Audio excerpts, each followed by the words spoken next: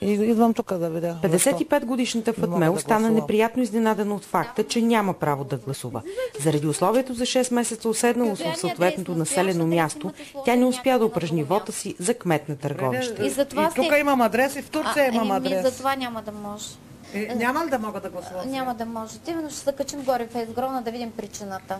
От сутринта с, може би това ми е четвъртия случай. Тези случаи са хора, които са имат или двойни гражданства с настоящен или постоянен адрес извън за рамките на страната. Очаквам по моите така изчисления да приключим може би около 12 нощес до към един да сме приключили с приемане на всички секционни протоколи и съответно някъде може би обработка на данни около и 2 часа да сме готови с крайните резултати. Различни са очакванията на хората към новия стопанин на общината.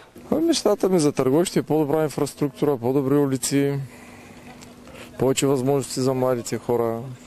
Защото сега, да кажем, от 10 младежи, които отиват да учат в големите градове, едва ли двама-трима се връщат. Както площада направиха да направят и улиците. Ама не знам.